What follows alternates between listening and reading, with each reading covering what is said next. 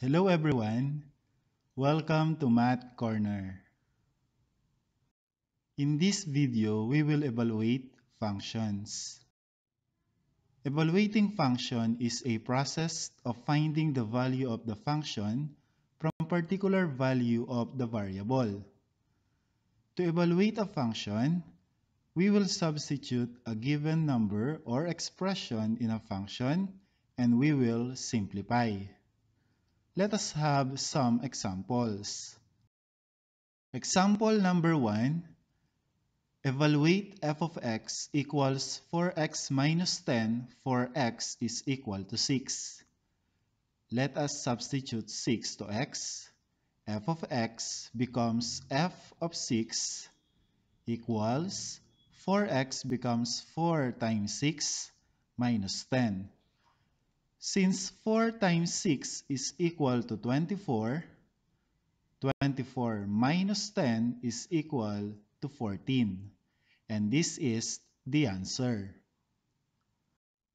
Example number 2.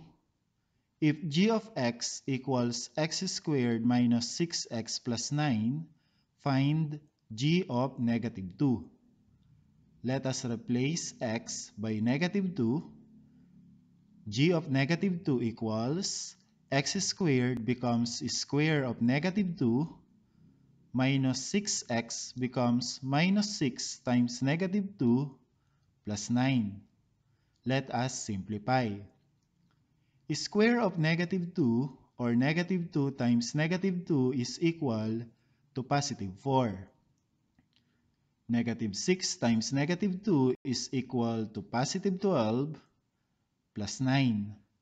4 plus 12 plus 9 is equal to 25. And 25 is the answer.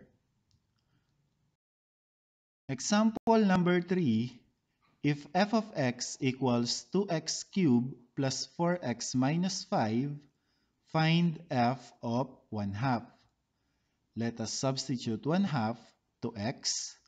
f of x or f of 1 half equals 2x cubed becomes 2 times cube of 1 half plus 4x becomes plus 4 times 1 half minus 5. Let us simplify. To simplify this, we will begin with cube of 1 half. Cube of 1 half is also equal to 1 half times 1 half times 1 half. Let us multiply the numerators and let us multiply the denominators. 1 times 1 times 1 is equal to 1 and 2 times 2 times 2 is equal to 8. Therefore, cube of 1 half is equal to 1 over 8. Next is, we will multiply by 2. 2 times 1 8 is equal to 2 over 8. Let us simplify 2 over 8 by dividing the numerator and the denominator by 2 since 2 is the greatest common factor. 2 divided by 2 is equal to 1 over 8 divided by 2 is equal to 4. Therefore, 2 times cube of 1 half is equal to 1 fourth. Next is 4 times 1 half. 4 times 1 half is equal to 4 halves and 4 halves or 4 divided by 2 is equal to 2. It means plus 4 times 1 half is equal to plus 2. And then we have minus 5. Since 2 minus 5 is equal to negative 3, then we have 1 fourth minus 3. Let us subtract. To subtract this, let us convert 3 into a fraction where the denominator is equal to 4. Since 3 is also equal to 3 over 1, we need to multiply 4 over 4 to make the denominator equal to 4.